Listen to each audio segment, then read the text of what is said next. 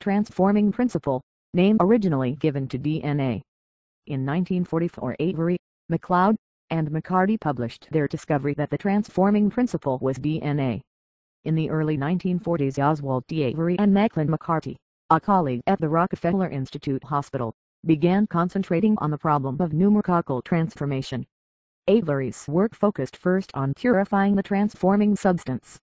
Using refined versions of Colin M. MacLeod's preparation techniques, Avery and McCarty isolated biologically active transforming principle from samples of pneumococci.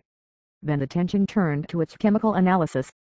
Proteases, enzymes that deactivate proteins, and lipases, enzymes which destroy lipids, were found not to inactivate the transforming principle. Avery could thus conclude that the substance was essentially protein and lipid-free. Avery had found that the substance was rich in nucleic acids, but ribonuclease, an enzyme that destroys ribonucleic acid RNA did not inactivate the substance either. It was definitely not a carbohydrate like the polysaccharide capsular material, as carbohydrates are not precipitated by alcohol, as was the transforming principle. Alcohol was, however, a well-known precipitant for deoxyribonucleic acid DNA. Further, the transforming substance had a high molecular weight, as did DNA, and gave a strong reaction to the Dische test for DNA.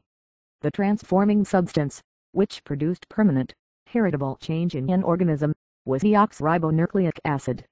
Avery's brother Roy a bacteriologist at the Vanderbilt School of Medicine was one of the first persons outside of Avery's laboratory to be informed of Avery's findings.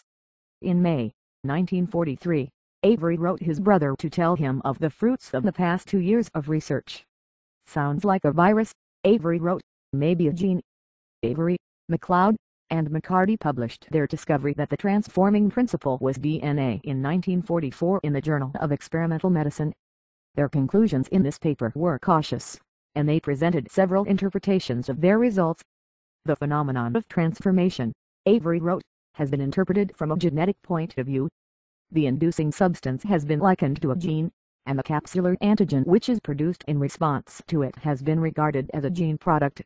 Yet they also gave another interpretation, that there might be an analogy between the activity of the transforming agent and that of a virus.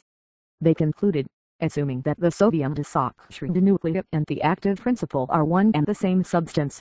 Then the transformation described represents a change that is chemically induced and specifically directed by a known chemical compound.